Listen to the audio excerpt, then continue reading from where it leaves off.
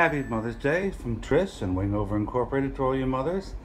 Just a little visual on how Trish spends most of his time after he eats. Plays a bit. He climbs up on the sofa and cleans all those new wings, feathers, and pulls out all that baby fuzz.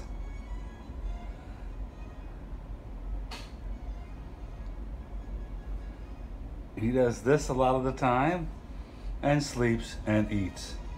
That's uh, pretty much his day. Besides ch chasing around his favorite ball. And now he's going to settle down and it's time for bed. Right, Tris? Just about done with all the preening and He's gonna fall asleep here any minute. Try and find a comfortable spot. and there we go. Now it's time for sleep.